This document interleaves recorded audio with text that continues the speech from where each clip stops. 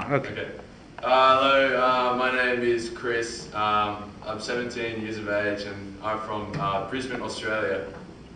Uh, uh, this, uh, this is my first time to China. Um, yeah, so definitely uh, very good experience so far.